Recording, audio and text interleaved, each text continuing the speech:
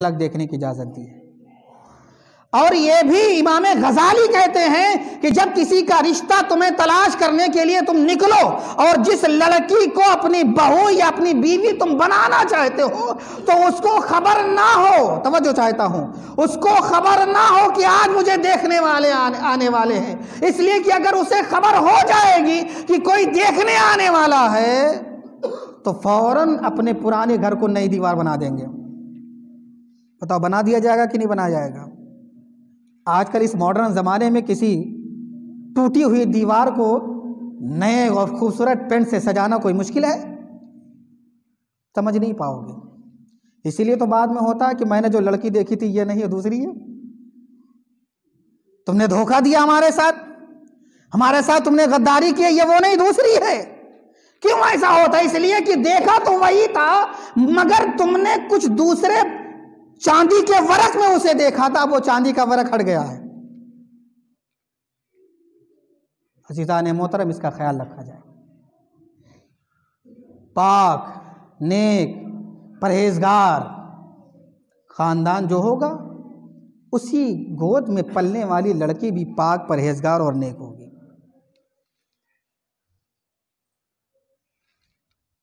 एक दूसरी बात जो सबसे बड़ी लानत हमारे घरों में नाफिज हो गई है, हमारे घरों के हालात जो बिगड़ गए हैं।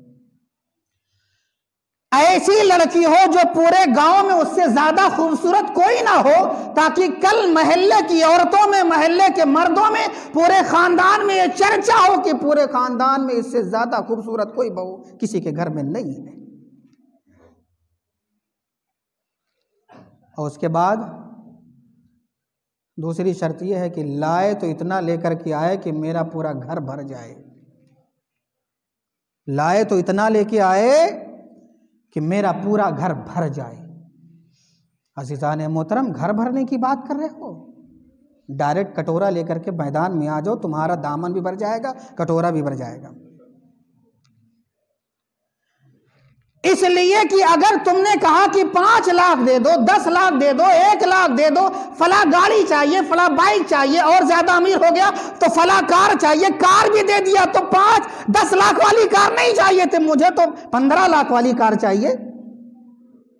तुमने हार नहीं दिया जो हराम है, अंगूठी नहीं दिया जबकि हराम है वो। ये सारी शर्तें लगाई जाती हैं शादी के वक्त ही, बल्कि आज मजबूर होकर के बाप पूछता है कि मैं अपनी बेटी तुम्हारे बेटे को देने के लिए तैयार हूँ, मगर ये तो बताओ कि तुम्हारी कुछ मांग तो नहीं है। वो मजबूर है पूछने पर। वो मजबूर है पूछने पर। इसलिए कि मांग की वजह से उसकी लड़की आज 20 साल से 25 और 18 और 28 तक पहुँच चुकी है। 50 और रिश्ते आए, सब वापस चले गए हैं। इसलिए कि वो किसी की मांग पूरी करने की ताकत और हैसियत नहीं रखता है। क्या हो गया हमारे मिजाज को? हमारी तहजीब, जो इस्लामी तहजीब थी, कहाँ चली गई? हमारा जो तरीका, मुसलमानों का तरीका तक कहाँ चला गया है? एक बात और बता दूँ आपको। अगर मैं किसी की मिसाल दूँ तो एक मिसाल मैं दे रहा हूँ।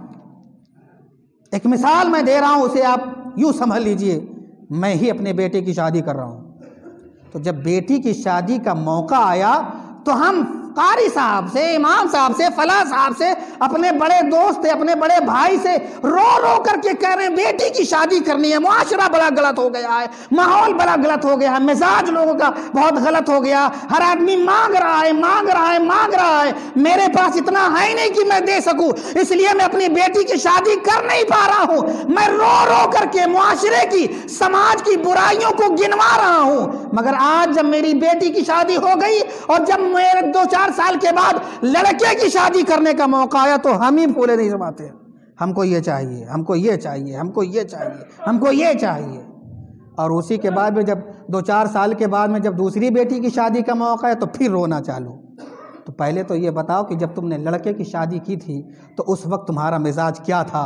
जिस तरीके से तुम्हारा मिजाज था, उसी तरीके से आज तुम बेटी की शादी करना चाहते हो तो जहाँ इसका रिश्ता कर रहे हो, उसका भी मिजाज वही सही है आज। तुम अपने को सुधार लो, वो अपने को सुधार ले, पूरा समाज सुधर जाए, पूरा मुआशरा सुधर जाए। याद रखो, तवज्जो चाहता हूँ, याद रखो अगर आपने दो चार लाख में, दस लाख में, पंद्रह, बीस लाख में अपने बेटे को बेच दिया ससुराल वाले के हाथों में तो अब ससुराल का हो गया, तुम्हारा नहीं है। लिहाजा रोने की ज़रूरत नहीं है। इमाम साहब के पास है मेरा बेटा मेरे हाथ से निकल गया है कारी साहब के पास गए, मेरा बेटा मेरे घर से निकल गया है फला बाप के पास गए, चाचा के पास गए, दादा के पास गए। मेरा बेटा मेरा घर छोड़ करके अपने ससुराल में जाकर के बस गया है। मेरा बेटा मेरी बात नहीं मानता है, सिर्फ़ अपनी बीवी की बात मानता अपने ससुराल वालों की बात मानता क्यों ना माने? इसलिए कि जब तुमने बेच दिया है तो जो उसका मालिक है, उसकी फर्मा बरदारी वो करेगा। बेचने से पहले तुम्हें सोचना चाहिए।